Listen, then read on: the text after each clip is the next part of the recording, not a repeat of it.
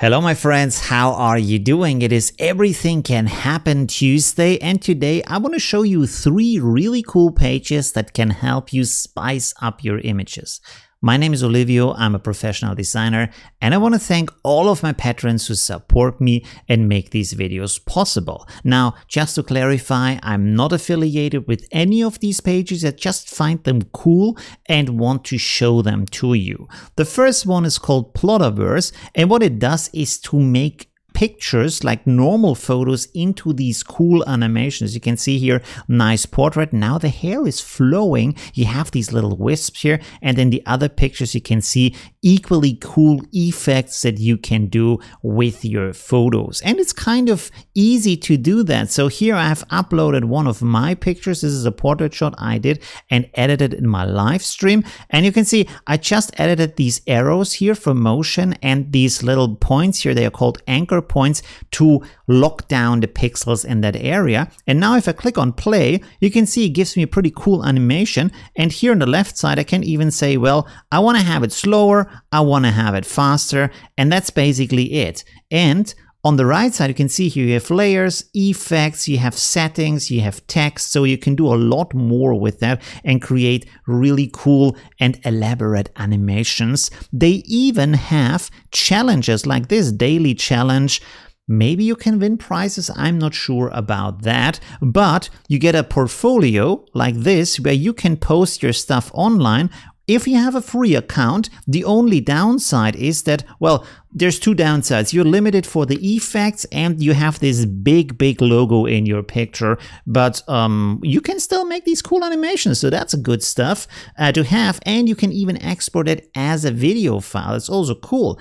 If you like the pro version, um, it's a bit on the expensive side. So it's $100 per year, that is. So that's, well, if you're into it, I think it's worth it. If not, I think it's a little bit expensive, but you can still use the, the free version. That's awesome, right? And if you downloaded the video, because GIFs is free uh, GIFs is a pro feature, you can go over to ezgif.com. That's the next page I want to tell you about. I use this actually a lot for myself because I love GIFs, especially funny GIFs. So uh, what you can do here is you just upload a video. It has a maximum of 100 megabytes. So um, you have to like cut out the seconds you actually want to use, upload that. And then what you're doing let's go over here, prepared this already. So this is my video.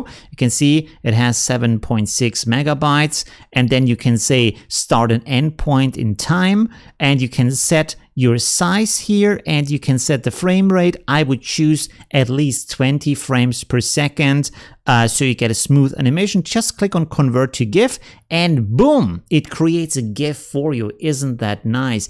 And I'm not making any suggestions here. I'm just saying it has a crop function where you can cut out parts of the video. Just saying, not suggesting anything by that. Also, you can do other stuff like resize, crop, optimize effects. You can even put text in your GIF. So you can do a lot of cool stuff with that and basically create moving pictures like that as a GIF file that you can post on Facebook or other pages. Pretty cool. And a lot of people ask me about creating GIFs. So this is how I do it. Super easy. All right. Next one is called Pixlr.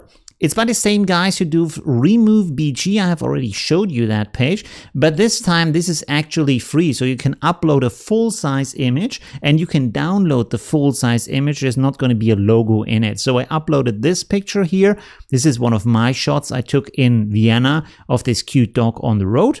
And you can do a lot of cool stuff here. For example, you can crop this, you have these adjustment settings, you click on them and you can see how easy that is. So for example, you can go on auto fix, it's also pretty cool. So boom, and it's auto fixed. And then I can go and say, well, I want to have a little bit more saturation and maybe I want to bring the brightness a little bit down and the contrast maybe not that much, a little bit up. Um, let's see, highlights are good, shadows are good.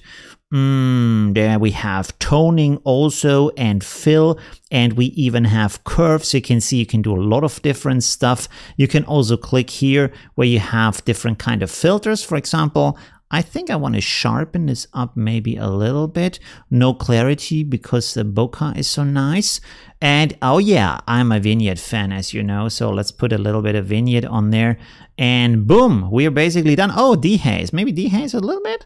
Hmm, yeah, let's go like that. Okay, uh, you can do more stuff here and then you click on save and then you can see download. So you can download it any size you want. Also different formats. Also WebP, which is a special format for if you do websites and stuff.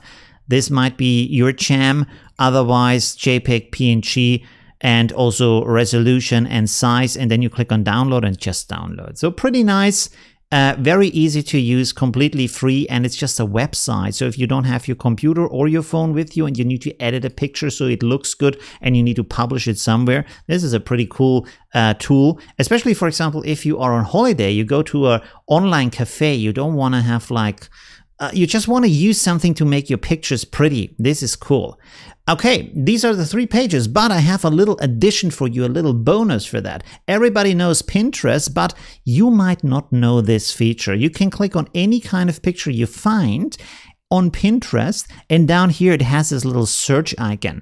And now look at this, what it does. I click on that, and it gives me this, and it gives me pictures that are similar, but with this selection, I can go on certain areas, like let's go here for the hands, and let's see, and there we go, we have results for the hands, for example, you know, or just like for this head area, let's see, yeah, we get like headshots now, so that's pretty awesome, and this is a tool that I use so often to prepare for shots, for ideas, even for tutorials, uh, to just see what other people are doing to get inspirations from them.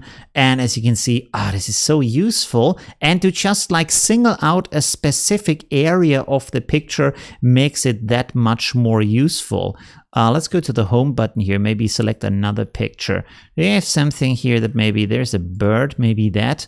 Uh, click on that and then just single out the bird and let's see, we get bird pictures? Yes, we get bird pictures. I love this. Okay, that's the episode for today. I hope you enjoyed. Everything can happen Tuesday again. Let me know in the comments and see you soon. Bye.